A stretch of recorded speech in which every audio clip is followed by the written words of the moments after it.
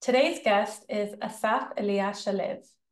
Asaf Elia-Shalev is an Israeli-American journalist with Mizrahi roots. Based in Los Angeles, he works as an investigative reporter for the Jewish Telegraphic Agency. He was a historian behind the 2022 re-release of the Israeli Black Panthers Haggadah. He recently published a narrative nonfiction book titled Israel's Black Panthers, The Radicals Who Punctured a Nation's Founding Myth. Welcome, Asaf. So happy Thank to have you. Thank you. It's great to be here. Well, there's so many questions I want to ask you about your latest book that just came out, um, which I just finished reading. Um, but first, I wanted to ask you to share a little bit about the process of writing this book and how you actually got to writing this book.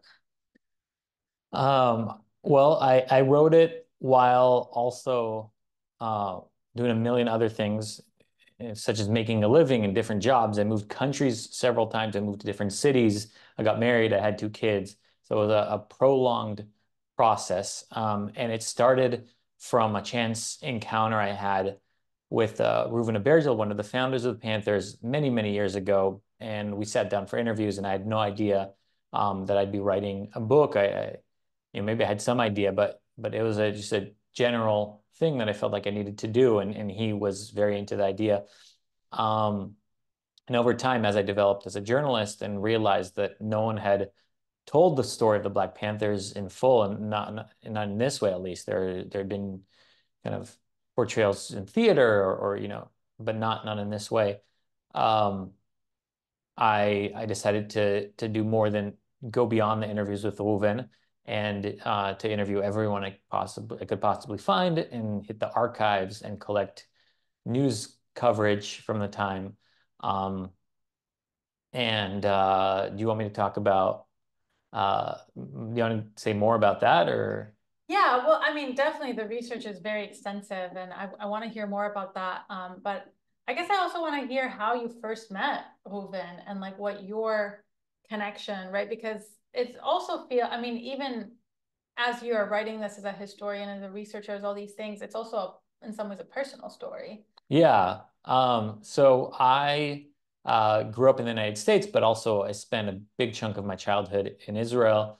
Um, i come from an iraqi and bulgarian family um, one side and, and, the other. And uh, i went to college at uc berkeley um, and there i uh, you know, got a little bit into activism and I, uh, and I was also learning about the American Black Panthers. I wrote, I wrote my biggest paper in college about the American Black Panthers. I chanced upon a reference on the internet to the Israeli Black Panthers and it said something about on Wikipedia, it said something about they they represented the struggle of, of Mizrahi Jews. And I said, wait, that's isn't that my family? What is this all about? This is a little weird. I want to know more um, but there was almost like no information uh, online about the American Black Panthers at the time, certainly not in English, or no information about the Israeli Black Panthers, certainly not in English. Um, and uh, at the same time, I was like, I had a, a, lot of friends who were Arab on on campus from Syria and Iraq and and and, and the West Bank and, and all kinds of places. And um, you know, when when it came up that I was like had Iraqi heritage, they they would do this thing where like they take your glasses off. Oh, you're Asaf, you're one of us. And I looked more Arab, I guess, with my glasses off. Um, and so uh, that helped me realize that there's something significant here to my heritage that I'm not just like another Amer Ashkenazi American Jew, and and I wanted to lean into figuring out what that means and like learning more about my family's experience in Israel. Um, I also remembered like as a kid uh, in Israel, one of the first questions you ask when you meet someone is like, "What is your motza? What is your like ethnic background?" And at least growing up, that's what it was like. I don't know if it's like that today still. I imagine so. Um, and I remember as a kid, I'd always say Bulgarian first or or just Bulgarian? Like, why? Why was I doing like what lesson did I internalize it? Like it was preferable to be Bulgarian than Iraqi? Like something something was going on for me to have done that um, as a kid. Which is interesting because you know I had the same experience. Yeah. Not that I have any like Ashkenazi or European but I actually pretended I was Ashkenazi because I didn't want people yeah. to know I was like I thought I could hide it. Yeah. Know? And uh and so I as a 23 or 24 year old I moved to Israel. So after college great recession is happening. So uh, I got a job as a news editor at Haaretz. I was very lucky to get a job like that um, in the economy that uh, that we had at the time, and um, you know, and, and I happened to meet Reuven at a party, but before I and I'd met him before, like a year earlier. I went to Israel on this trip. I took a tour of Musrara that uh, was led by Reuven, and he was telling his the story of the Panthers and I was just like shocked that someone could even talk this way. Like he was saying stuff I hadn't seen anywhere else. He was speaking with like a fire and a passion and, and sense of urgency, the 70 year old man at the time. Um, and uh, I couldn't get it out of my mind. I'd recently read uh, the autobiography of Malcolm X, and I was like, oh, this guy sounds like the Israeli Malcolm X. Um, so left a big impression. That was, and I come to Israel, work to work for Haaretz. A month into my moving to Israel, um, a friend invites me to like a party. Uh, it turns out it was at a at a bar frequented by the people that were doing the tent protests, the Rothschild like tent protests in Israel at the time. So like a lot of activists were there. And Reuven was there, and we talked. And um, I told him I'm this like American, Israeli. I speak Hebrew, I speak English. I write in English um, I'm Mizrahi. I want to know more about the Panthers. And he's like, let's let's sit down and talk. Like, I I want the story to come out in English. And at some point in our conversations, he kind of described his feeling, um, his whole his whole life as as being stuck in prison. Like talking to me felt like smuggling a letter out of prison. He felt like the his lack of English kept his story from from getting out. And um, so it's important for him to share through me uh, with the world. Um, and we ended up doing this, you know, just like he had given a tour that I went on now.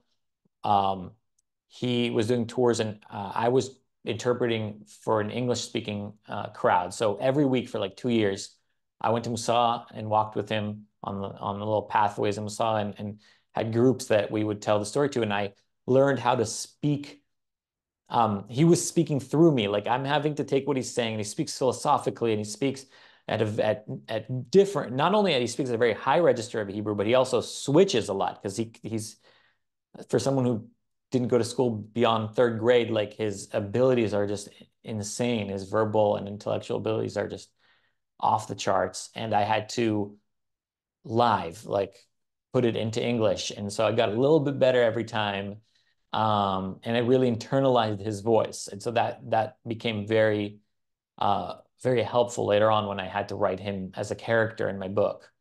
Um, right, it's like complete fact based, but but I'm writing it as a work of narrative nonfiction. So Reuven is a character, and there's scenes, and there's a plot, and so yeah, um, that's kind of how we got to the to the book. Yeah, so that it seems like that relationship with Reuven really, I mean, this research for the book you said take took over like 10 years to really have the conversation interview the people go into the archives you know and, and translate it um, into the larger international world and you know one thing i wanted to also just acknowledge that at the end of the book you mention how um, five of the people that you interviewed for this book have now passed away and i think actually now it's six Mm-hmm. When, and the time between when the book uh, was completed and it was published, Charlie Bitton died. Yeah. yeah.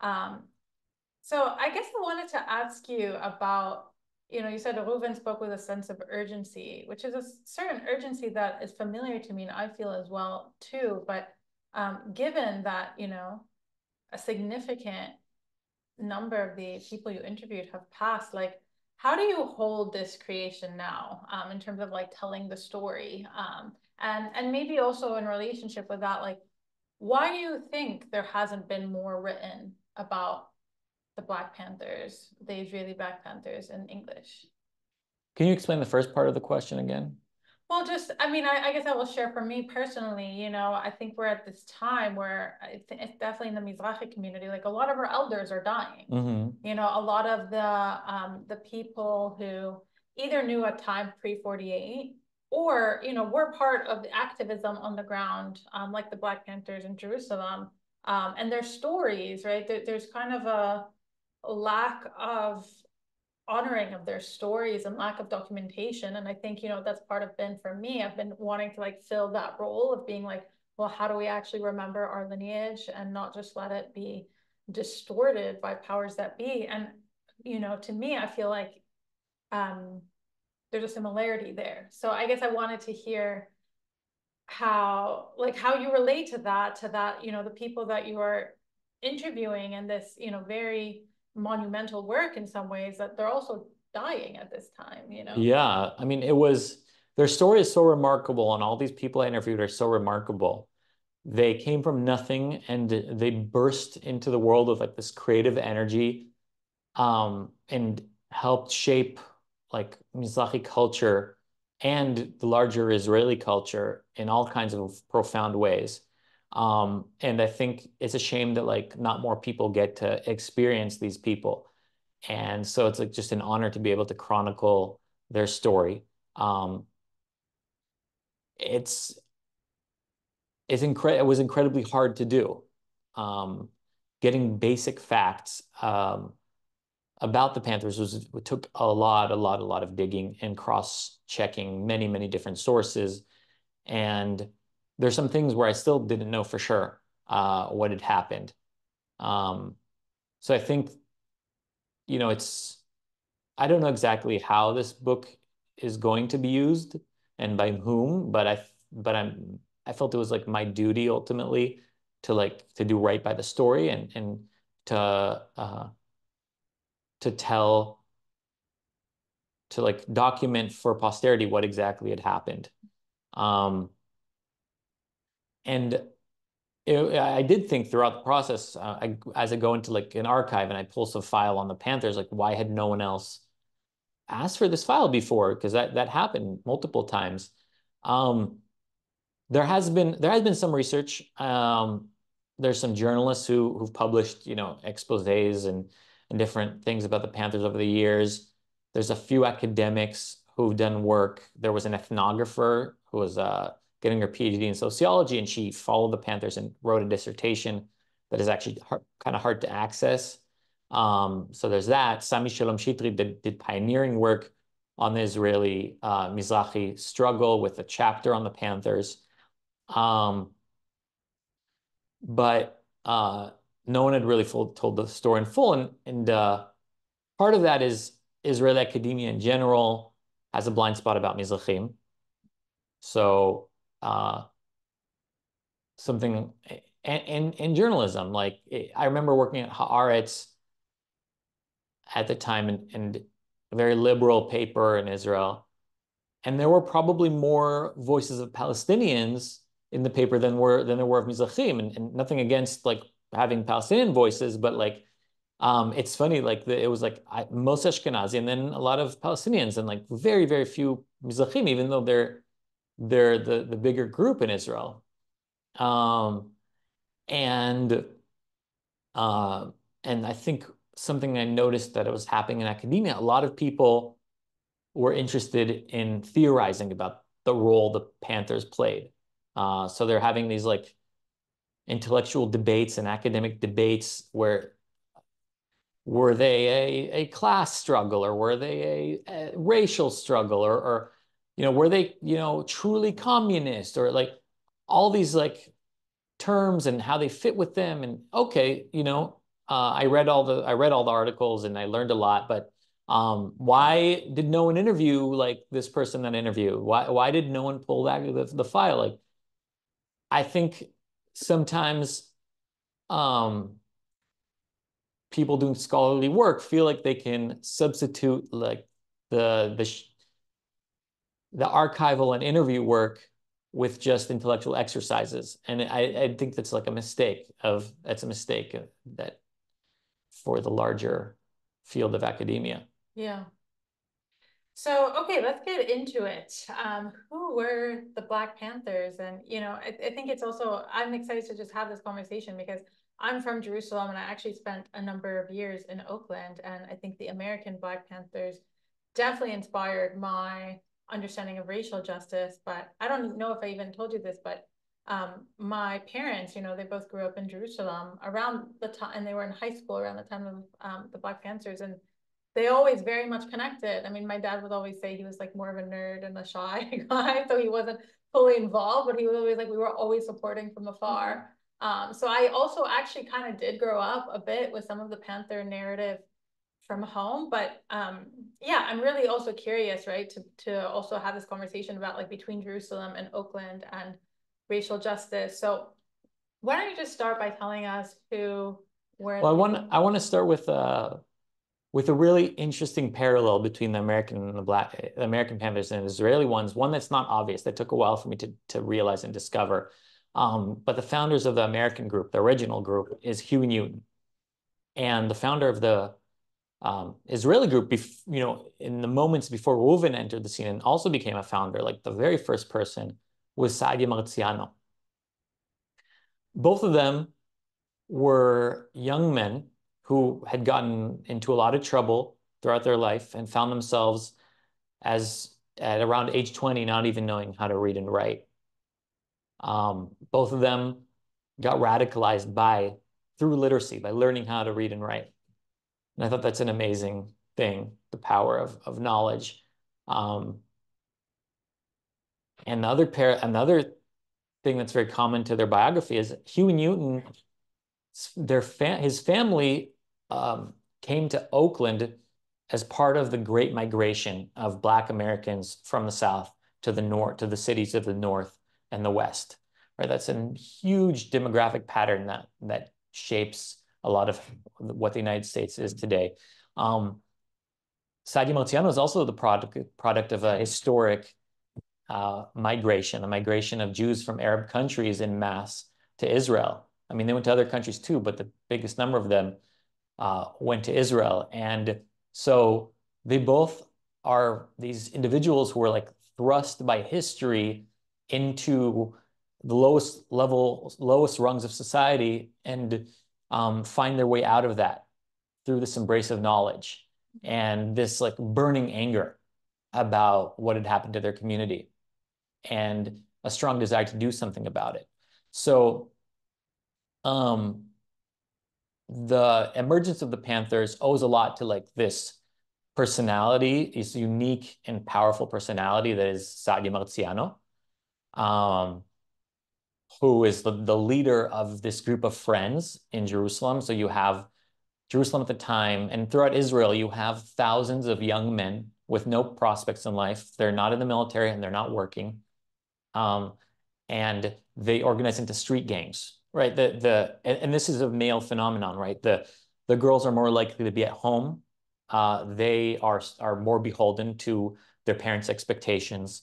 Um, the young men, for wider social reasons, are kind of more likely to have gone to juvenile delinquency uh, to institutions for juvenile delinquents to find themselves on the street to to to cast out of like the family home um, and and so Israel has this like street gang problem on its hands. Um, Which is largely Mizrahi. Yeah, oh, 100% Mizrahi, right? Um, but the Panthers didn't start in Tel Aviv or Haifa or, you know, or Rishon LeZion or, or Semen. They start in Jerusalem and not just any, any place in Jerusalem in the neighborhood of Musrara. So we have this like sociological phenomenon of the street gangs. We have the the un, unparalleled kind of personal force of Saadia Marziano. And we also have the circumstances that are very particular to that neighborhood. Um, everyone in Musrara, who all, all, the all the people who grew up there at the time, lived through the 50s and 60s, where it was a war zone.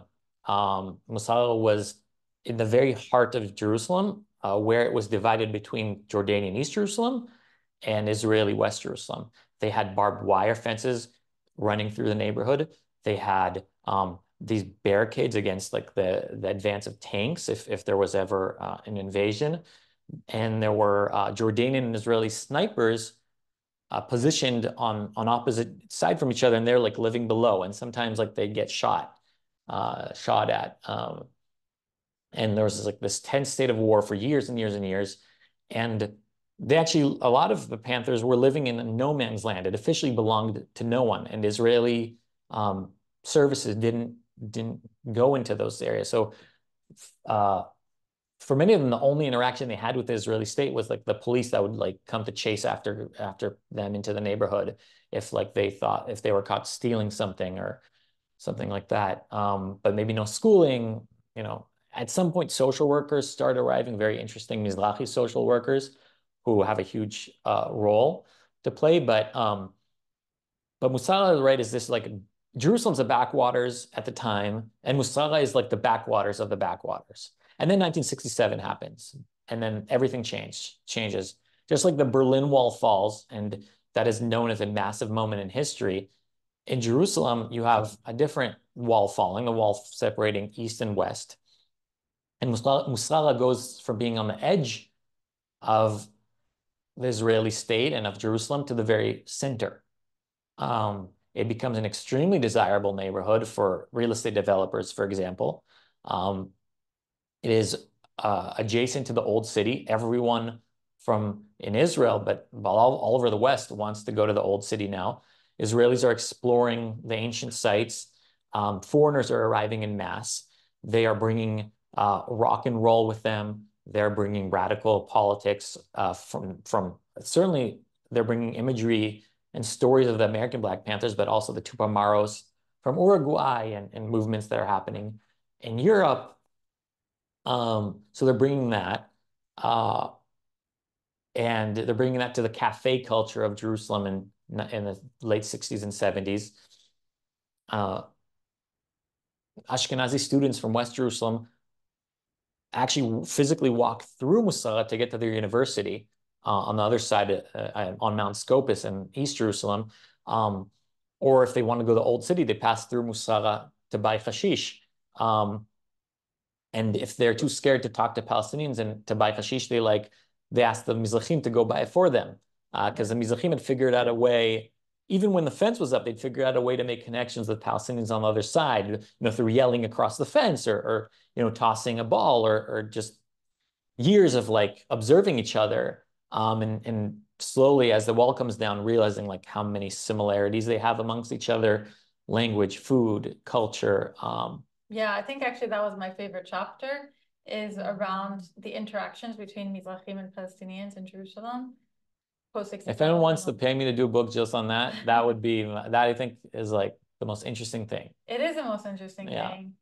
Um, because it spoke to, I mean, a lot of very profound insights. But one is that, you know, um, there's sometimes this phrase around Mizrahim of being like imported Arabs, right? There's a local Arabs who are Palestinians, and then there's like imported Arabs who are Mizrahim. But just like this interaction of being like, wait, you actually look similar to me, but what's going on here? And like trying to kind of understand these dynamics, but also feeling a sense of comfort, you know, um, which I, I think is what I got from that chapter. Yeah. Yeah. I mean, it's interesting. Um, first of all, there are, of course, Mizrahim that, that were from the area of Palestine. Okay. Um, but just like Reuven Abergel tells, he, he grew up among Muslims in Morocco. Well, you know where Yasser Arafat grew up? Yasser Arafat grew up in the Moroccan quarter of Jerusalem, living among Jews. So um, that's an interesting like juxtaposition. Yeah. totally. Yeah. Actually, I have um, some of my family, my grandfather's brothers were actually friends with Arafat because yeah. back they yeah. in the old city. Yeah. yeah. And so, you know, there was a moment in 2003, I believe, where Reuven um, actually travels to meet Arafat when um, when Israel was was um, engaged in fighting with Ramallah, and there was a siege, and so um, is you know everything around the Muqatta'a, around Yasser Arafat's headquarters is like kind of being being bombed, and and that wasn't that was like you know, the one zone, and Israelis would go like to act as human shields. Anyway, uh, Reuven Abergel went there and met with him and like talked to them. They talked about their childhood and they shared these stories with each other. Um, so yeah. That's really, yeah, really fascinating. Um, Okay, before we dive more deeply into the Panther story, maybe we can just share a little bit of the context of um, Mizrahi life in this newly established state of Israel, right? Because a lot of the times, and, and I think this book touches on it um, a few times, right? The sense that Zionism kind of created this uh, Jewish unity, right? Oh, okay, like all Jews are brothers in this fight together. Um, but really, in practice and in actuality, that Jewish unity didn't translate really, right? And we see the racial dynamics between Ashkenazim and Mizrahim. Uh, but right, there's a context to which the uh, Panthers were kind of coming through. And I think particularly, you know, you had also a whole chapter dedicated to Wadi Salib and, you know, the protests that were happening there. So yeah, I would love for you just provide a bit more context about that. Yeah, and, and there's a reason the subtitle of the book is uh, The Radicals Who Punctured a Nation's Founding Myth. It's exactly what you're talking about. Um, yeah, so when Israel, before Israel was founded, um, if you go all the way back to Herzl, uh, political Zionism arose to solve a problem being faced by the Jews of Europe, that they were horribly mistreated. Um, and the idea was we are going to uh, solve that problem by, by going to Palestine and creating a Jewish state there. And that state was explicitly supposed to be modeled on a European country. Like they wanted to establish a European looking country for European Jews in Palestine. That's what they said. So they all talked about. Um, that's not a controversial, uh, it shouldn't be a controversial thing. It's an historical fact. Today, uh, there's a lot of discourse around that issue of like, oh, don't call it a white country, don't call it a European country. But like, that's what the, the people who founded it were talking about doing. They had a problem though in the early 20th century, uh, the Jews in the Soviet Union decided, you know, Russia and then, and then the Soviet Union, that whole part of Europe, they, for the most part, didn't listen to the Zionists and go to Palestine. They went to the United States. Um, right? Millions of Jews ended up in the United States. And then later on, the Holocaust uh, involved, right, the, the absolute destruction of European Jewry. Six million Jews who maybe could have gone to Palestine were were dead now, and the and after World War II, the last kind of reservoir Jews on the continent were behind the Iron Curtain, and Soviet Union wasn't allowing Jews to leave. So you have what 600,000 Jews in the in the Yishuv pre-state. It's not enough to establish a country in the circumstances that they had. And so uh, this idea starts catching more steam of bringing the Jews from the Arab countries. Uh, there are about a million of them, and they need soldiers. They need people to work in factories, to till the fields, to build roads. Um, Arabic also. Yeah, it's good they speak to, for the intelligence services. Um, and they need more legitimacy, right? Like they need more numbers in order to say, uh, in order to have like a demographic balance with the Palestinians. And um, and so it's the story is very different actually from from country to country in the Middle East of of how and why the Jews came to Israel or left. And like I said, not all of them went to Israel. A lot went to France or to Canada and different places. But um, so I don't want to talk. You know, that's a whole other conversation about why and how the Jews left these countries and came to Israel. Um, but but a lot a lot of them did do that, and um, they came with a certain promise, a certain idea that was uh, that was told to them that they're coming to be brothers in the creation of a modern Jewish kingdom or a modern Jewish state. Um, it happened to be led by by David Ben Gurion, and who's of course named after King David. And Mizrahim uh, at that time, certainly, and today, are very uh, cared very much about Jewish tradition and the symbolism of a of a new Jewish state being led by by David Ben Gurion that mattered to people, um, and they they wanted what was being promised they, uh, a place to thrive as Jews, to be in brotherhood with Jews from all over the world, and they come to Israel and something a little different is what they got.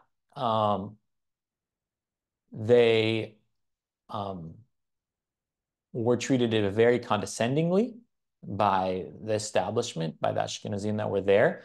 But I, condescension is a very important part of, of what happened. Um, still and still happens, but but too often in Israeli conversations, that's where it stops. Yeah. The Ashkenazim were condescending. Everyone can agree that they were condescending, right? That they they talk to them in, in, in ways that are like not so nice. Um, right? Even the name Black Panthers, where why is that such an appropriate name for this group, right? It sounds, oh, they're not even black. They're, they're, you know, I, am not black, you're not black. Um, even though we're both Mizrahim. Uh, well, Ashkenazim would call Mizrahim Shivar Tzechaya in Yiddish, it just it means black animal. So the Panthers were, in a sense, Israeli Panthers were reclaiming that term. Oh, oh, we're, we're Shivar Tzechaya? No, we're Black Panthers. Thank you very much. Um, I was also called like Shvachoret. Like, yeah, you know? yeah. So like yeah. in the Israeli context, it was black, but like it doesn't, it, it sounds weird when you put it in an American context, right? Yeah. Um, and uh, so anyway, to go to get back to where we were, so it's not just condescension, right? That's very important. There are explicit policies and practices in place that create uh, massive discrimination against Mizrahim. The, not just discrimination, the creation of a second-class citizenship for Mizrahim. And that is done through every aspect of life, housing, employment, education, anything you can think of. In terms of, um, they come in, the immigrants from Europe or from the Middle East, and they're put into these transit camps. Oh yeah, I won't touch the thing so they won't, into the transit camps. And then uh, the Europeans are quick, far more quickly transferred out into like real housing in the center of the country. Mizrahim languish in the languish in these camps for a lot longer, which are just like tent encampments, like like in the dirt. And then when they are uh, allowed to leave and like settled somewhere, very often they're settled in in the very far reaches of the country, in the margins and in the desert, places like Dimona, which were just tents on a plot of land with nothing, and, and they're deposited there, and like you cannot leave um, and there's active measures to prevent people from leaving these like remote locales where they put them. And they're not only remote and far away from economic opportunity, they're also on the border, uh, on the borders with the Arab enemies, the Arab enemy countries.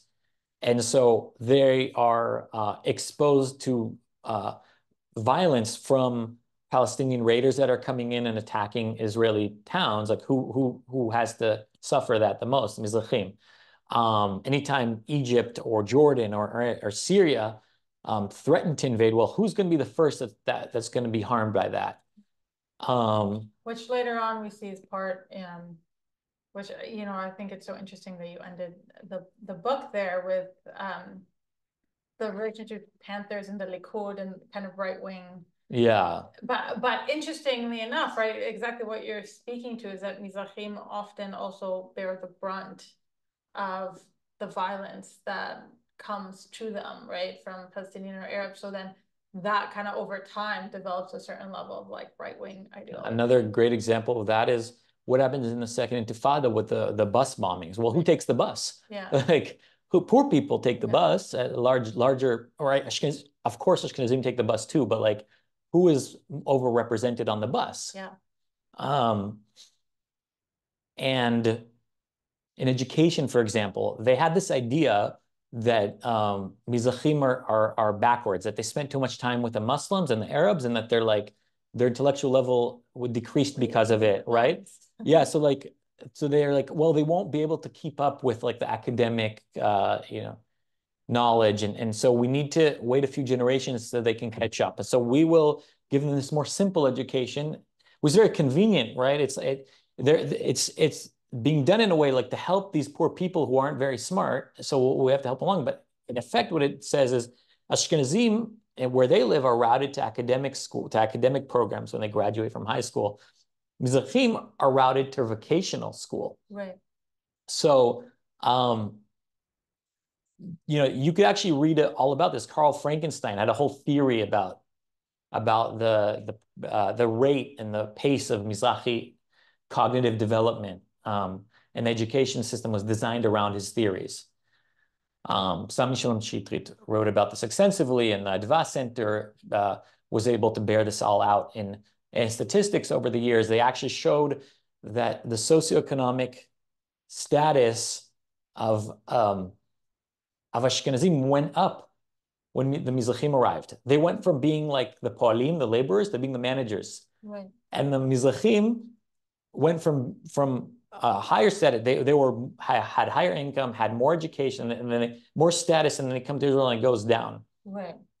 Um, they had more of that. more in Casablanca and Baghdad and, and Istanbul and all these countries that were, you know, it, it, it was it was really ironic the way in which um, the founders of Israel talked about uh, talked about Mizrahim as being cave dwellers, that saying that they came from from living in caves or living in in the mountains like Baghdad and Istanbul and Casablanca and Marrakesh were like and, and Alexandria and Cairo were far more metropolitan than Tel Aviv. Yeah. Um, so it's just a funny, uh, they just got it wrong. They they were just completely misinformed in a way that was that was devastating uh, about the Mizrahim that were that they had imported to come live with them. Um, and that is, it's not only materially damaging to Mizrahim when they arrive, it's also uh, it's also psychologically Yeah. very harmful because it feels like a betrayal. Like, why would you treat me this way? I thought we were Jewish brothers and sisters. Like, what happened to all that talk? Like, I was down. Yeah. Uh, we were down to do it with you. Like, we were down to build this together. Like, why would you treat us that way? It doesn't make any sense. Like, Jews don't behave this way to other Jews. Um, and for some, that made some Mizrahim became very angry as a result of that. But I think the Panthers, a lot of them told me their parents, their reaction to it was like to become like these downtrodden people, like with their their head down, and they weren't able to look up to their parents as young people because they saw them as being weak, as being as as having just just resigned to like to a lower status. Um, I get emotional around this because this idea that like the loss of respect for your parents is like a very devastating feeling. Yeah. It's it's it's it's yeah, and I can resonate with that because when you see that was actually so much of my political education is just recognizing the ways that my parents were traumatized by the state. And like instead of just seeing them as my parents, also seeing them as individuals who have their story and what was done to them. And then things just started making sense, you know? Um, and and it and it is really hard. It's really hard to contend with. Um, certainly, I mean, what was kind of done to us as Mizrahim, but also it's like, how how do we, you know, and, and actually, I think you talked about this a bit of like, right, and, and actually, I think this is where there's some interesting parallels with the wider Arab community because this whole sense of like honor and respect is actually so deeply ingrained in us as people, like to be respected, to be valued, and like when there is kind of that attack on our dignity, it it goes really deep, you know, and then the assertion of wanting to fight back um, to reclaim that. Um, And it's and it's fucked up that Mizrahim are ridiculed for caring about respect and honor, right? right, Like, totally. you know, like, Totally, 100%. well, easy for someone to say who hasn't ever been like treated in that way. Totally. Yeah, like why who are you people? Why do you care so much about Yeah, respect? yeah. Um, well, okay, so I want to talk about some of the like, yeah, can you talk a little bit about Wadi Salib and like what was happening there? Because that that I think is a really important moment in history where there was actually like, no, we're gonna fight back around this. Yeah, and the way it, it started off is is remarkably similar to how a lot of protests around racial justice have uh, started in the United States. Uh, it it takes place in the city of Haifa, um, in northern Israel, Israel's third city, third largest city, in a neighborhood that's actually a lot a lot like Musrara in the sense that it's poor and working class and Mizrahi. It's the neighborhood of Wadi Salib. And also like Musrara, it's a neighborhood that was previously populated by Palestinians until they were forced out or fled in 1948. Um, and uh, police come in, they get reports about like a guy who was allegedly drunk or some or disorderly in public. and they shoot him. They end up shooting him. Um, and uh, you know, the neighborhood learns that that this happened. Uh, people think he he he died, so he didn't die. He actually was rushed to the hospital, and and he his life was saved. But like the neighborhood thinks he he was killed by police, and um, then this dam breaks loose of like police needs to stop beating us up. They need to stop mistreating us, and, and not just the police. You know, the the whole establishment. They go and they what do they do? They target the police station, you know, throwing stuff at the police station, but they also target um, Mapai's the Mapai party's like local headquarters because they attribute their condition to the to the Mapai Labor Party of Israel, and um, they march and they you know they they fight with police on the streets. They organize um, committees. They put out um, like manifestos. Um, uh, and this goes on for weeks and months. And uh, there isn't much coverage of it at the time. Israel has no television in 1959. Um, radio is limited, is, is in control of, uh, of the government, and there's not many options. Um, and even the newspapers hardly cover this, except for the communist newspaper and Ha'olam Hazeh, which give it extensive coverage. But um, without mass media, you would think that maybe it would be contained to Haifa and to Wadi Salib, but no, Mizrahi networks are able to spread word of this, and there's prote protests all over the country. Um, and that's when Israel has its first reckoning about the Mizrahi Ashkenazi divide, and they have a, actually a, a public um, commission, an investigative investigative government commission, um, to look at the issue that was raised. And actually, they didn't even do that with the Panthers, right? That's the only time. You know, there's been commissions around the Yemenite affair and, and different things, but but no bo- no government body has um, has ever like since then, before since, made it its mission to figure out what is happening with racism in Israel. And um, I mean, they reach like conclusions that are just demonstrably false, like that it's the, you know that it shows that there's a lot of poverty among among Mizrahim, that it shows they're able to determine that there's inequality, not very hard, but they claim that it's not due to any deliberate policy, that this is just because um, of historical circumstances about how Mizrahim arrived with less resources or, or some nonsense like that. Um, and uh, it's not anyone's fault. It's not anyone's fault. It's sad and hopefully it gets better, but it's not anyone's fault. That's what they conclude. Um, and uh, yeah, and then there's really interesting connections that I discovered between um, between Wadi Salib and the agitation happening then and, and the Panthers later. Um, if you want me to talk about that, but like so but also just in wanting to leave, like that was one of the protests where they also like right, they took the Israeli flags and dipped it in blood. Was that? Yeah, yeah, yeah. So they're on this march. I, I just that's such a powerful. Image. It's a powerful image. Um, there's probably more to be done. I mean, it's actually Wadi Salib in some ways is like very well documented um, in a way that the Panthers, there's a lot of contentions about what actually happened. But yes, they go on this march and the flag is either an Israeli flag or like like a blank flag or something, like a sheet. It, I've seen both versions. Yeah, and it's dipped in blood and they wave it. Um,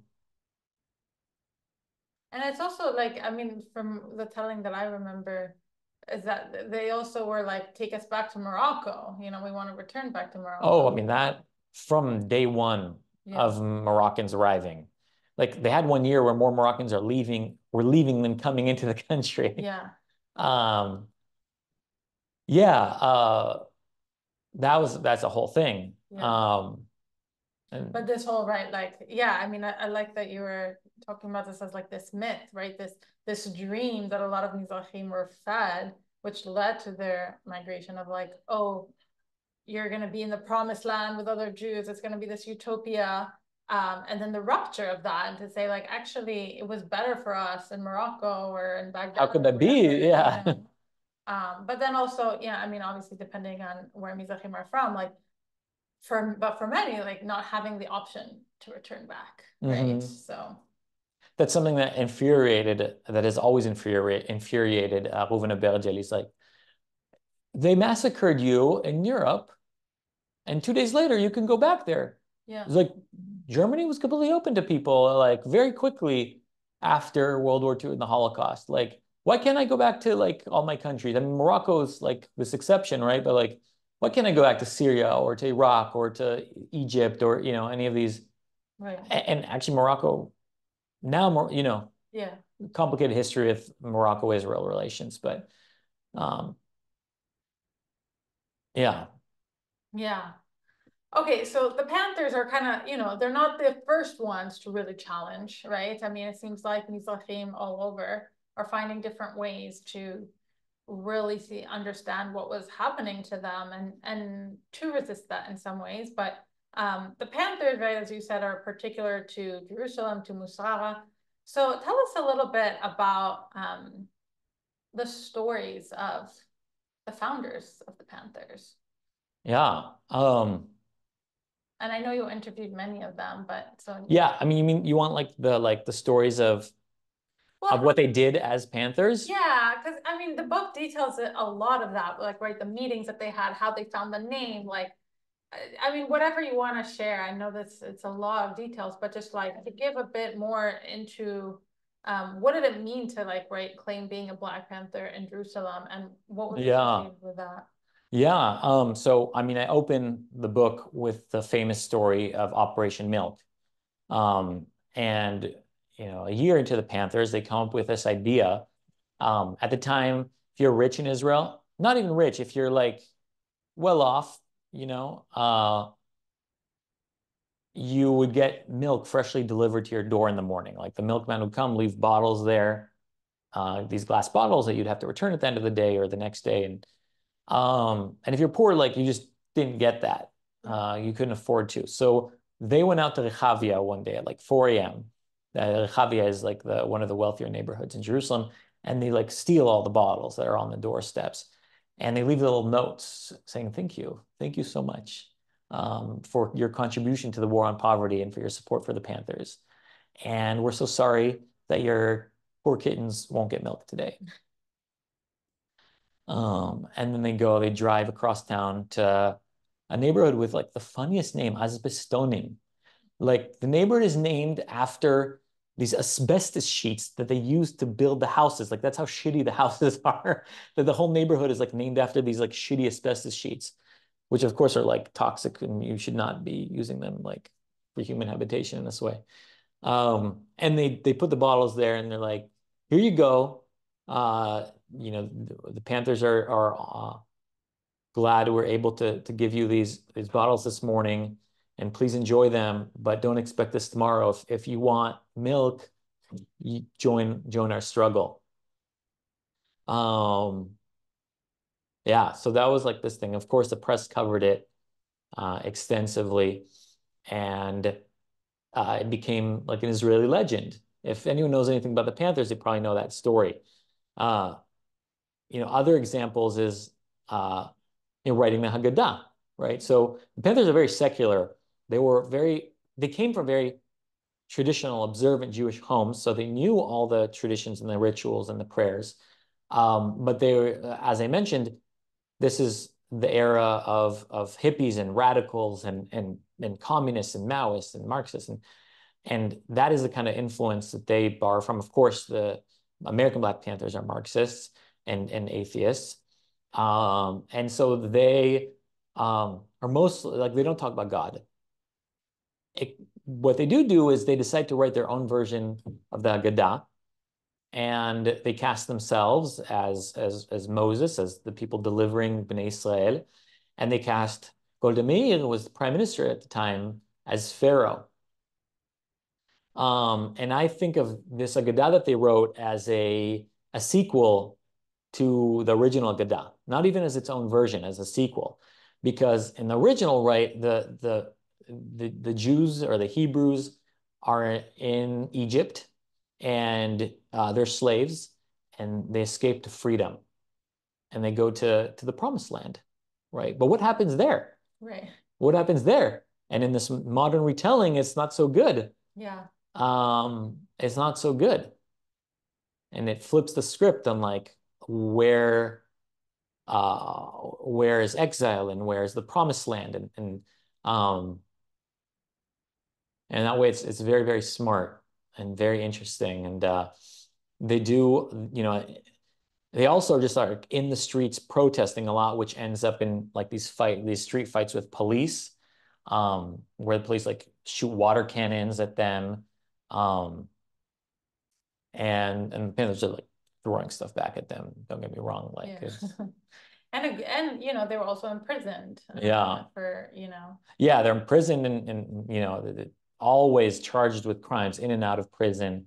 Um, yeah, Well, so I want to actually talk about Golda Meir because she comes up a lot, right? Um, as being the prime minister, but something I thought was really sharp, um, as how you framed it, right? Because Golda Meir was actually very aware of, especially of American social justice issues and was seemingly seen as very progressive. And even till now, you know, there was the most recent film that came out about Golda Meir as this like heroic, liberal, like, you know, ideology that she was holding. Um, but you know, from the Panthers' perspective, from Mizrahi perspective, like I really like seeing like kind of framing her as a pharaoh, right? Because that's who she was to them. Mhm. So yeah, I'm wondering if you could touch base a little bit about Golda Meir and her character as like on the one hand, like being seen as this, right? The first woman prime minister being all about equality, but then somehow that doesn't actually apply to Mizrahim yeah. or Ironic, Arabs, really. yeah. Ironically, I'm kind. Part of me is on like Team Golda. Oh no. Let me explain. Let me explain. Okay. She is known as, uh, I think now she's her her reputation is getting, getting rehabilitated a little bit with this movie, but like she's considered a total failure. Um, and that's how I always learned the story of Golda Meir, not because of the stuff with the Panthers, like because of like the 1973 war, right? She was prime minister when Israel was invaded and like nearly, uh, you know, defeated by by the Arab armies. Um, and that's that's pretty bad, like if you're prime minister. Uh, but I, when I read the history, like I don't think it's her fault. Mhm. So she was never, she did everything except for the military stuff, like in her background, right? She had these famous men who were generals, Moshe Dayan and these guys, who were like, no, no, we got this. We know what we're doing. And they and she asked them, oh, do we need to worry about the war? And she, they're like, no, no, no. Moshe Dayan Ali, they're telling her no. What is she supposed to like tell them they're wrong? Like, no, that's not that's not her expertise. Um, so they fucked up. She gets blamed. She, of course, she gets blamed. She's the prime minister. The buck stops with her. But like that failure, like erased everything she had done. And uh, and now let's set aside for a second the Mizrahi thing and the Palestinian issue. Which these are big issues. These are big issues. But just look at her as like her resume. She was an absolute force. Like she built state institutions. She uh, she was involved in foreign policy. She, um, I mean, in 1948, Israel might have lost the war if it wasn't for Golda Meir. She went to the United States and like in one day, like fundraised everything, like a huge amount of money from American Jewry through like these speeches that she gave. And without that money, they would not would not have been able to buy the weapons to go like and win that. And and she was very very involved in social welfare policy and in uh, work training and in housing and and all these realms. So she did a million things and uh, contributed more than like a lot of the men who are like then ended up being heroes because they won some battle or something, right? Um, so in that sense, I'm I'm pro Golda like that like this is not fair that she is like by, by- in in like the Zionist mythology she's she's not treated fairly. Mm.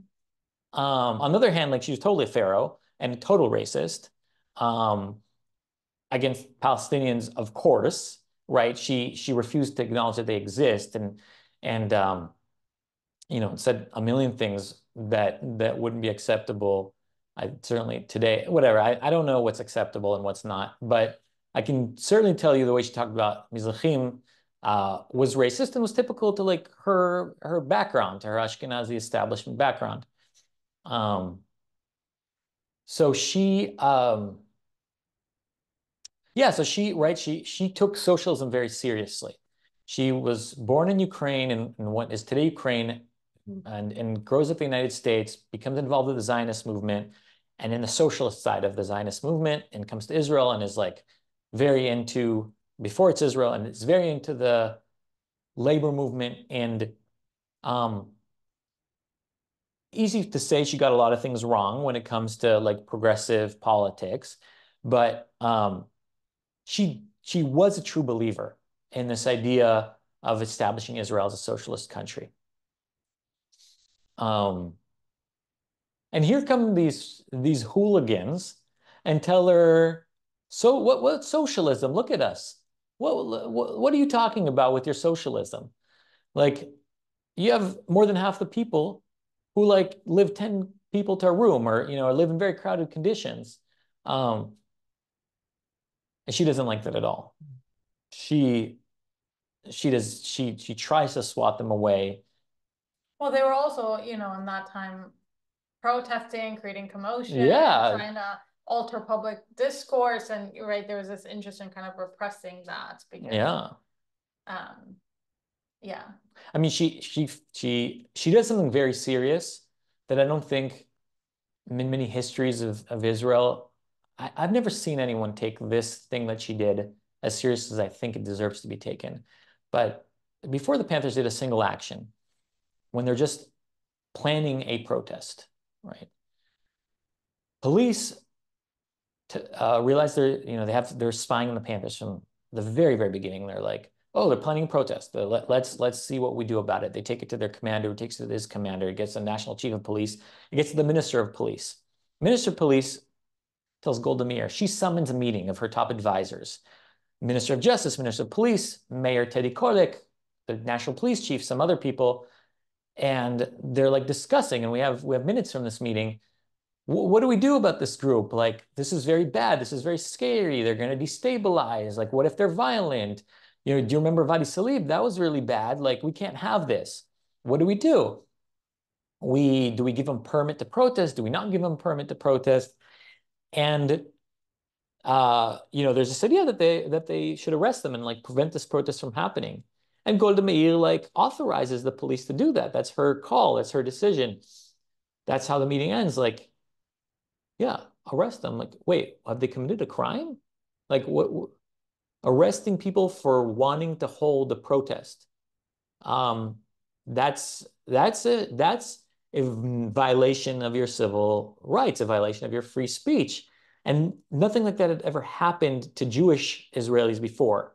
As far as I know, I've never been able to find anything like this before. As far as I know, this is the very first time that they that the Israeli and, and this is what the Israeli police commander at the time who I interviewed told me is like we went to uh, to the we applied a, a law that was on the books from British times, an emergency law that allows us to preemptively detain people before they've done anything wrong. Today, they many Palestinians are arrested under the same law. Um, an administrative detention is what they call it. But but he says uh, we pulled that out of out of our hats. Like we, we looked and we found this like weird law, and we and we used it for the first time. Is what he said. Um, and he said it to me in my interview. And he also said it back then. I found that he was uh, so um, and um, before I talk about how arresting them preemptively, of course, backfires, it's also morally, legally, politically, like this is a very, very big precedent in Israeli history. Um, and I'd like I'd like more scholars and and uh, and journalists to take that that aspect of things seriously. Um, yeah, and of course, like to, to just complete the story, um, when word got out that they like What, what do they do? They go, the, the, the police now spend an entire day raiding little cafes and little houses all over Jerusalem to try to catch like these 15 people um, and arrest them. And and I found for you know I found their names. Like no one else is. You, it's impossible to find who were the 15 people who were arrested. Everyone said they were arrested that day. Everyone's memories is like, oh, I was there, I was there, I was there. Like, yeah, this was this was one of the hardest things about the book. Um, I had people telling me I was at this meeting between the this historic meeting between the the Black Panthers and Golda Meir. Right. I was there. Or she called them not nice. And then she called them. She called. She was talking about that meeting when she called them not nice. But but there were five Panthers at the meeting, and and we have and there's a transcript of the meeting. We know exactly who was there, but like a lot of people remembered being there, and and they weren't they weren't lying to me. Like yeah. they were they identified with the Panthers so fully. Yeah. that that this was real to them. And, and i'm not taking that away from them. I'm not calling them liar. That's their truth. But like for my kind of book this is like no, not helpful. It's like the worst thing you could do. Like stop saying these things to me. You're like i don't yeah. have to trust anything you're telling me anymore. Yeah. Well but you know in that meeting where afterwards she does call the Pan- panthers being not nice right? This and this whole I mean, that to me has also been really inspiring, right? Because then there's an organization that got formed, like Lo Nechmadim, Lo yeah. right? Not nice about um, kind of reclaiming that as a Mizrahi person and being like, yeah, you know, I'm not nice, you know? And I think that um, that there's something, I mean, in that, that has lived on um, around, you know, different ways of saying that. I heard someone recently saying like, oh, I want to like reclaim being barbaric, you know, or like all these things that were kind of tossed at us. It's like, well, what's a way to kind of assert that and um and about that that story, something that I'm glad a little thing that I'm glad I was able to correct the record about in the book is Golda, a few months after saying not nice, tried to like rehabilitate herself because like it, it was very clearly seen as like a condescending uh gaff of a remark. Like you should not, you know. And what she said, and then since then, the Israeli State Archive has like done a, a post like taking her side. And they said, oh no, she was not saying that about the Panthers. She was saying that about whoever threw Molotov cocktails. Mm. Okay. That's not true. That's simply not true. I found the actual documentation, the full context of her remarks. Um, I was able to find that through my research. And like, she was specifically talking about the Panthers she met at the meeting who had nothing to do with any Molotov cocktails. Um, they were all like under arrest by the time the Molotov cocktails were thrown. Like they were not. And so she was talking about that meeting and talking about, I met them. Those boys are not nice. It wasn't about, later she talked about the Molotov cocktails, but it was about, so, you know, that's one of those things like, that's like my, my hill I want to die on. And I don't know if everyone, I don't know how many people care about that, but I care about it. Yeah, correcting the record. Well, okay. So one thing that I for me, and you know, this is an experience I had when I first moved to Oakland. The inspiration that I got from the American Black Panthers is the recognition that justice and doing justice work um, really actually starts with providing needs for mm. people who have been marginalized or oppressed, right? Because you can't just come out with all this like decolonial theory and you know all this academic literature to communities who don't know how to read, who don't have basic food, you know, who don't have shelter, all of these different things. And, you know, I think that there's something about the justice discourse that sometimes is like very intellectualized as opposed to remembering that like actually a lot of movements got started by just providing needs for people so that they could show up for the meeting, mm-hmm. you know? And I think that, that there's something um, really interesting there of the similarities, you know, in some ways this is I feel like a universal thing for for so many movements all over the world of like being like,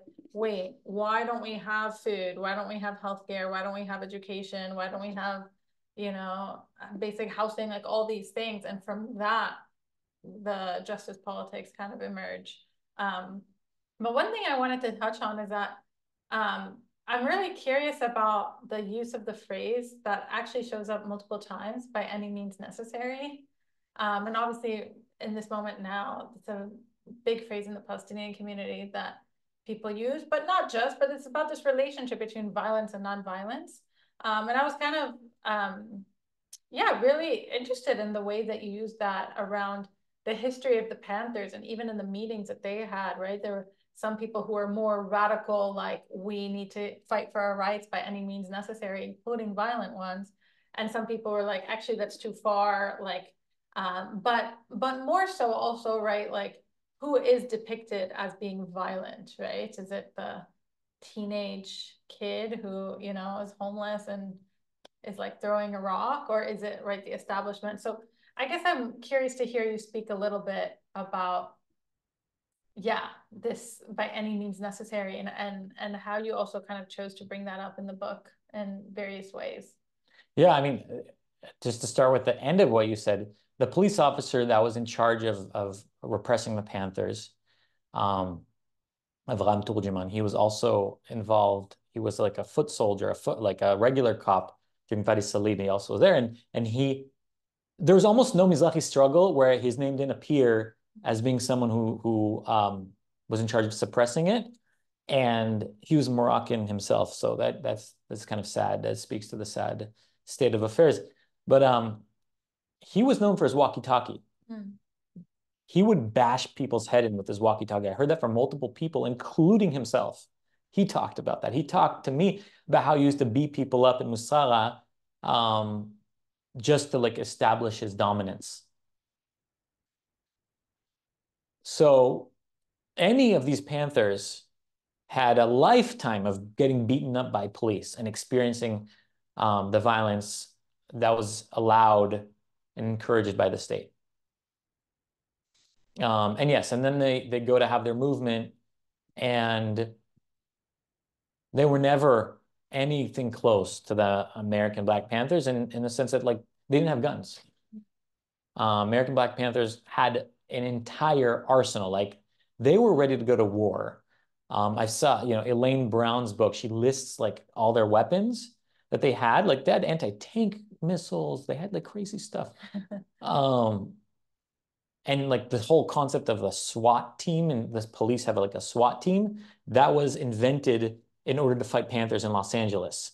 Like, and then, and then now every police department has a SWAT team. Like, so um, the Israeli Panthers like had nothing like that. Um, they talked about being radical. They talked about by any means necessary. Um, there was a plan at one point to like kidnap and hold hostage a government minister. Uh, they didn't end up doing that because like what they wanted, they got anyway in that case. Um, and uh,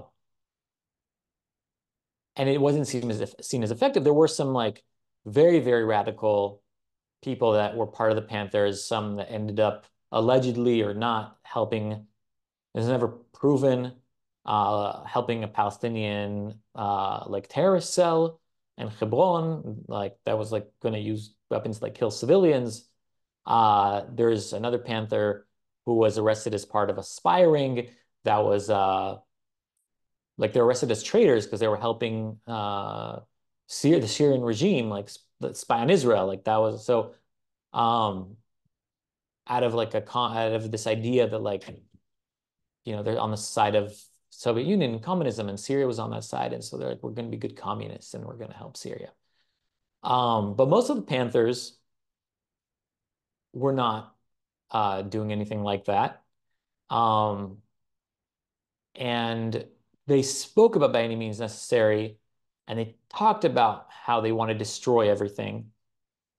But ultimately, that's not really what they wanted. So the American Black Panthers had, they looked at white America and looked at the history of how Black Americans were treated, and and uh, they said, well, white America doesn't want us, and they're treating us like shit. Well, we don't want them either. We'll do a separate thing. We'll be separatists. We'll create. We want to create an independent and strong and thriving black community. Goodbye. Like we don't necessarily need you, need need you. Um, Israeli Panthers were not that. They wanted to belong. Like they desperately, desperately wanted to belong. Which is part of the tragedy of it all. Yeah. Some, I mean, and we can get to this, but like about the impacts of the Panther movement in Israeli society, which is just like, do Mizrahim ever belong, right? And that that's not like is, is that even a possibility? I mean, my my wife did um her graduate research. Uh, she did an ethnography on the Moroccan Jews who settled Dimona. And they um like came to be part of like the national story and like lived on the margin like and had pretty shitty jobs and like aren't don't hold a special heroic role in Israeli history books. Um, but she found that they like reinterpreted their own story and made themselves into heroes and they saw themselves as like pioneers and they saw themselves like they refused to accept the narrative that was imposed on them and they're like they crafted their own narrative and um, a narrative that gave them meaning that made them able to create like beautiful community Yeah. um, and cope with like very difficult conditions, especially in those days. Um, Shelley Showed is, is my wife's name for the record for anyone listening. Um, you can read versions of her her research. Uh, the whole thing hopefully will get published one day if there's some justice. But Yeah.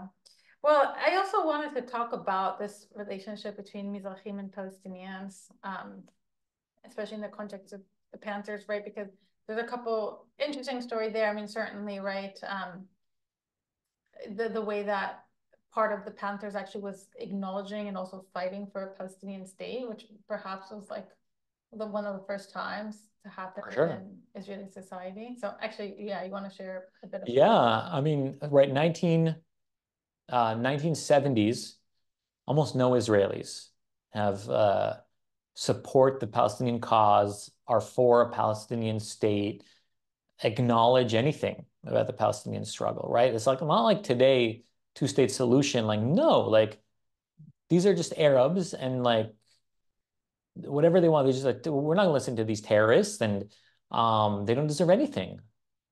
Um, you know, Matzpen was an exception, like a few dozen like randos.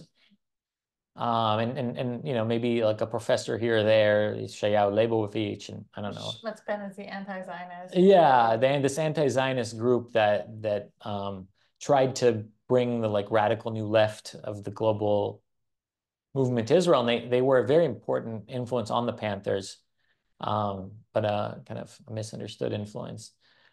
Um, yeah, so the Panthers at this phase become, aside from Matzpen, like some of the very first Israelis to look at the Palestinians and say, no, what they want actually is legitimate. They, by 1975, they sign a, they, they approve like a position that is totally in favor of a Palestinian state.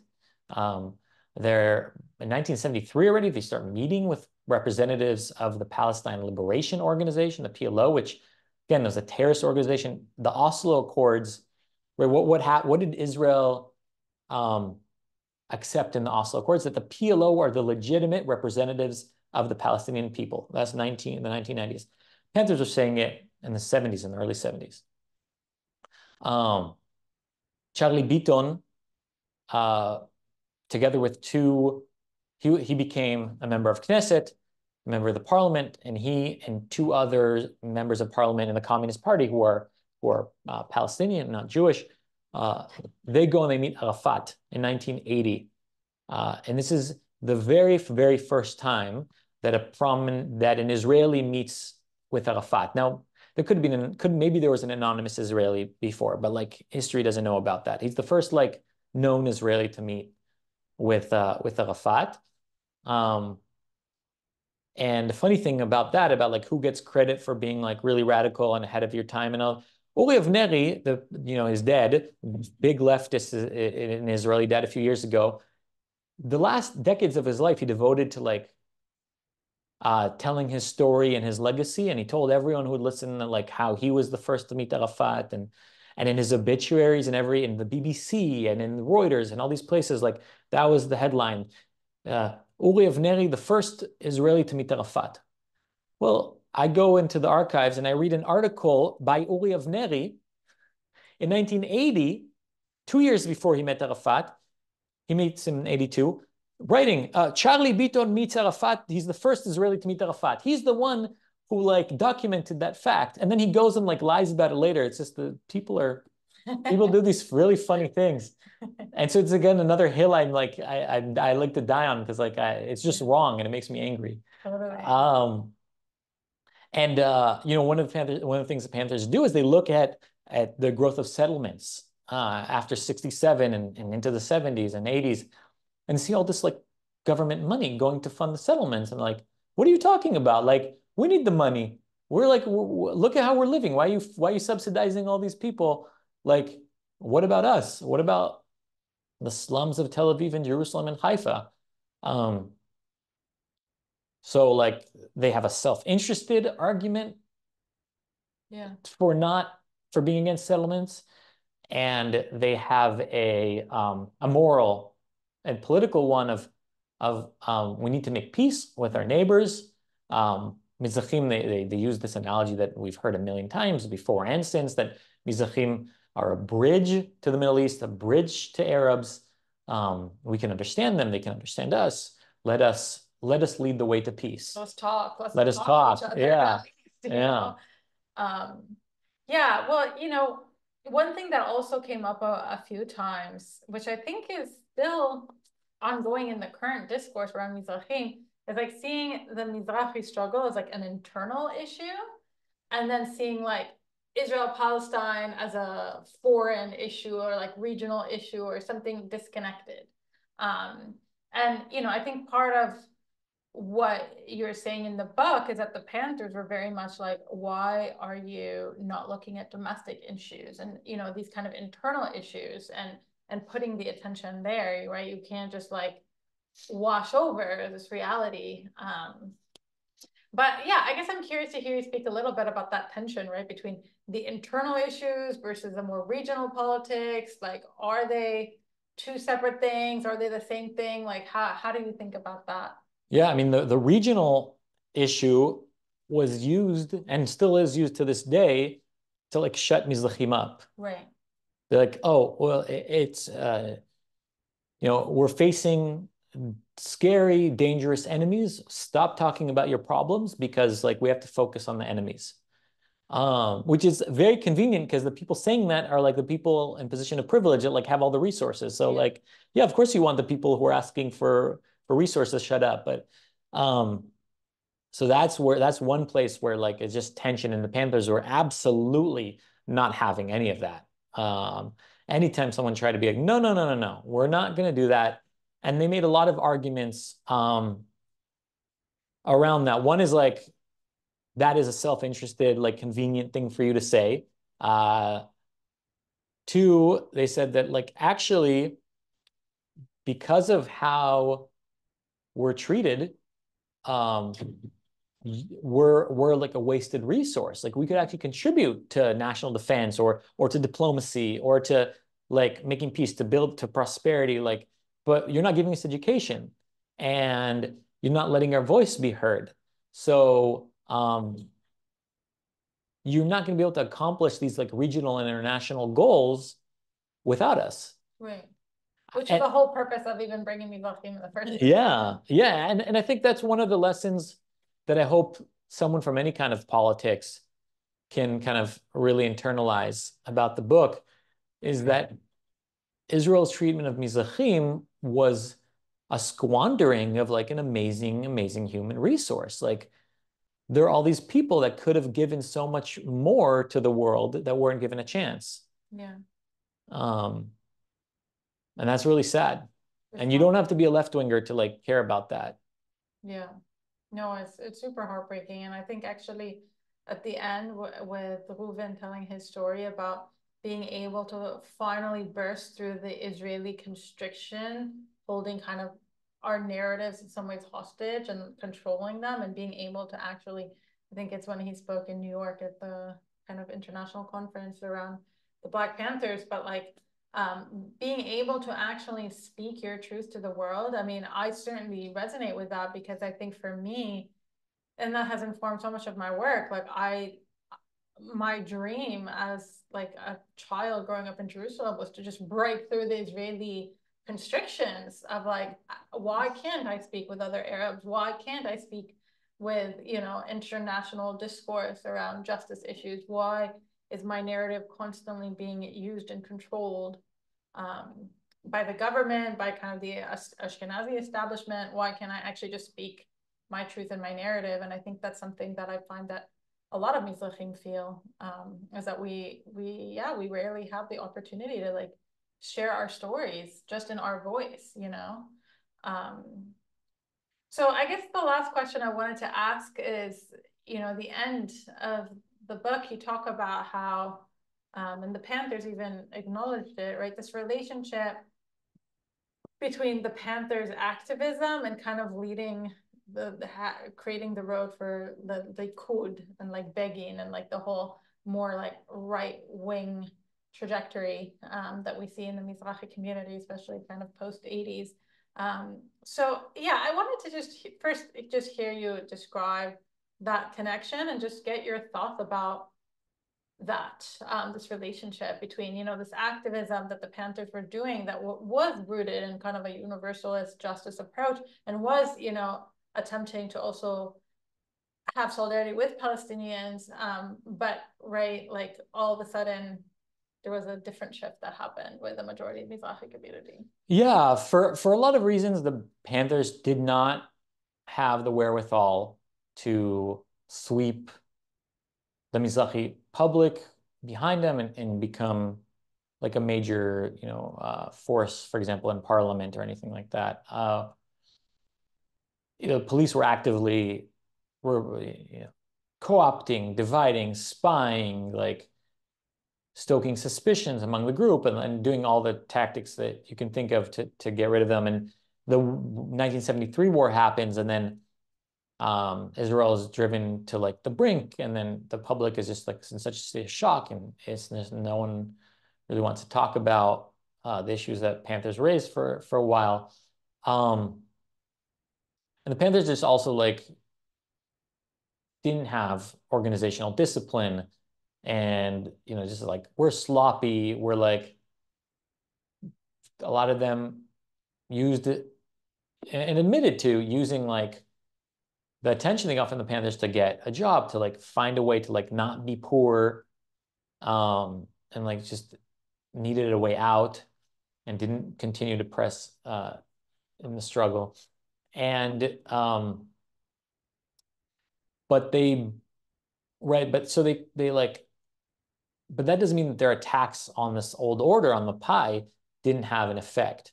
It did. It kind of freed Mizrahim to rebel, to like look elsewhere. Um, and when they started to look at what their options are of like where where else can we go, um, Panthers didn't seem to offer Talad Mizrahim didn't seem to offer like a viable alternative to power. Um, but there's this other guy who did, Menachem Begin, who founded the Likud and ends up becoming prime minister in 1977. And he uh, he does something the Panthers couldn't. He offers the Mizrahim a way to belong in the national story. You have all these people who are like, okay, no more pretending, like we've been condescended to, we've been left out, we've been marginalized, we've been dispossessed. Like that was real, that was wrong. We know who did it to us. He's like, here, forget all that. Forget like, you're not just people who've been stomped upon. No, no, no, that's all completely wrong. You're brothers, your sisters, your warriors, you're, you're the real Jews, you're the real Zionists. He has this like amazing, incredible speech like, this oratorical ability to tell him, come join me. Like, I'm going to put you front and center in this national story. Like, Mapai has it all wrong. I, he's, he talks about how when he was in the trenches of 1948 fighting to found the country, like, there were Iraqi Jews to, to his right and left. Like, what, how dare anyone forget that? And, uh, and Mizrahim are like, wait, this is this is our ticket. Like this is our ticket. This is our guy. And as you were saying before, right, the desire for belonging was so, Yeah. so deep, and also the exhaustion Exhaustion, absolutely. Yeah. Absolutely. And and the Likud, they had their own like grievance against Mapai, right? Because they were revisionist Zionists. Mhm. So they were left out too. Like they weren't given jobs either. They weren't given positions. They weren't given land. They were like fucked over. Like I, they were like a fringe, you know, political group, but they had real grievances against the government too. Yeah. And they, like there's this alliance of like the Mizrahim and and they're both angry about the same enemy. And uh and of course Mapai keeps like shooting themselves in the foot and like saying like racist things about Mizrahim and being condescending and like why can't like these uh you know the whole why why can't the riffraff uh, like why why can't they understand anything? Like that we're we're gonna be better for them. And like they're too dumb for their own good like they're they're too dumb to know what's good for them. Like this kind of talk and and Likud's like no no don't listen to these people. They're don't listen to Mapai. We will we will um acknowledge your rightful place in this country. And do they do that? That's a different question. Um, how Mizrahim fare under Likud? Um, and, and an Israeli right. And it's a complicated story. Um, the leaders of Likud were and, and remain largely Ashkenazi. If you look even at Netanyahu's current cabinet, current government, like yes, there's there's actually kind of a lot of Mizrahim in, in who are ministers, but like all the top ministers, Yeah. they're Ashkenazi. Treasury, defense, you know, the these people, you know, maybe you want to fact check that, but um, who's who's foreign minister anyway? Um, and, and and there's never been a Mizrahi prime minister in Israel. Um, and Mizrahim do see actually a lot of social mobility under Likud because socialism didn't manage it. You know, the Israeli socialist system didn't manage to redistribute resources in a way that benefited Mizrahim. But a lot of Mizrahim were small business owners. And so the ultra capitalism promoted by Likud like did benefit like a big now there's a big big Mizrahi middle class and there's a lot of Mizrahi rich people too. Right. Um so Which a lot of the struggle started also as a class. yeah, yeah. And so like capitalism was like good for Mizrahim. Not all of them, and a lot of them were Right. left behind. And there's massive socioeconomic gaps in Israel. Um, but like a lot of people can say genuinely and truthfully and accurately that that it was good for them. Yeah. Um, they were finally given, you know, more representation in, in Knesset. Uh, so yeah. So to wrap up, like with the book being published, I guess just this month, right? Um, and we're in this current moment um, that we are in. Um, just curious to hear your thoughts of like what do you what do you want and what do you desire, and what do you hope for the book to contribute to the current discourse um, and yeah, like how do you see it fitting in with, you know, now this is the first time that it's written about in English, so There's this there's a saying in the Talmud, and it came up during the time of the Panthers. Uh. And like I, I, if I do a Hebrew translation, I, I may want to use "Hizaru mebnei aniyim" as the title. It, it just the translation d- doesn't work well in English. Um, "Hizaru mebnei aniyim, ki mehem tetzeh Torah." Uh, and which you would translate for for and and what uh, what that means is like um beware the the, the children of, of poor folk because from them true Torah will will emerge.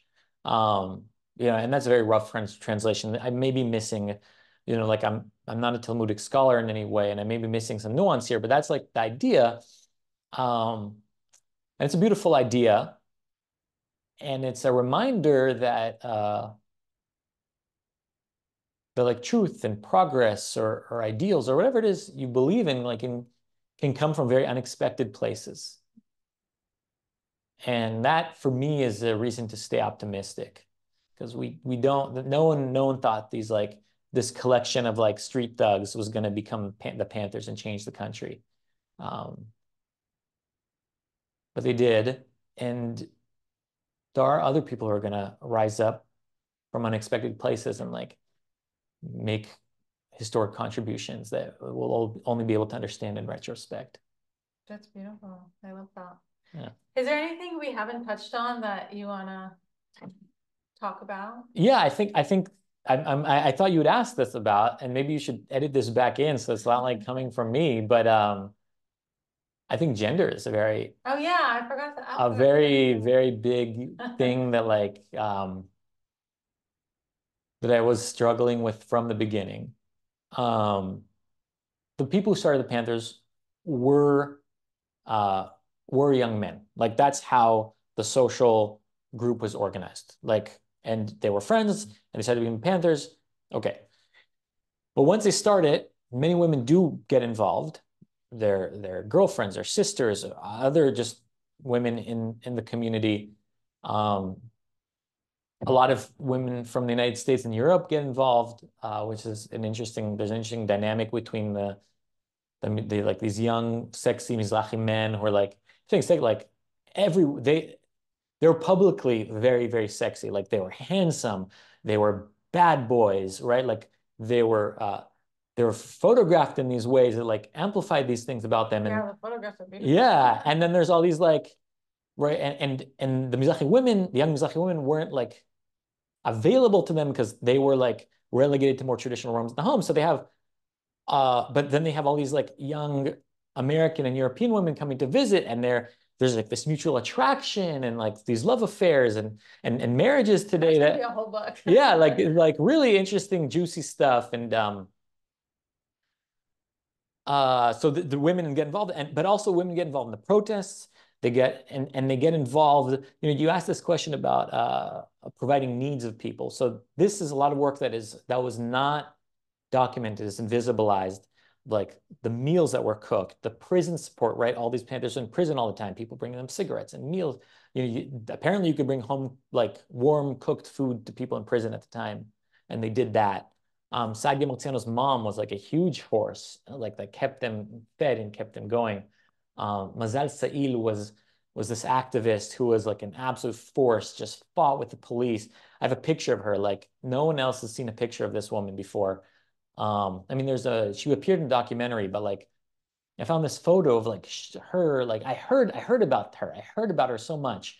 Um, and she's mostly known as the wife of like the guy who like disappeared. Dani Sail like disappeared in Europe, and there's this like conspiracy theorist that the theory that the Mossad assassinated him, and she tries to find what happens to him later on. But but she was like her own fighter in the days of the Panther, Panthers, and uh, so I have this photo of her, and there are other women. I tried to like I tried to find a lot of them. There was um, Shulamit Sabari, a Yemenite, like a 19-year-old woman, Yemenite woman at the time. Couldn't find her. There are a lot who died. Um, and they the press didn't interview them so i don't have that the police cared more about these like few male leaders um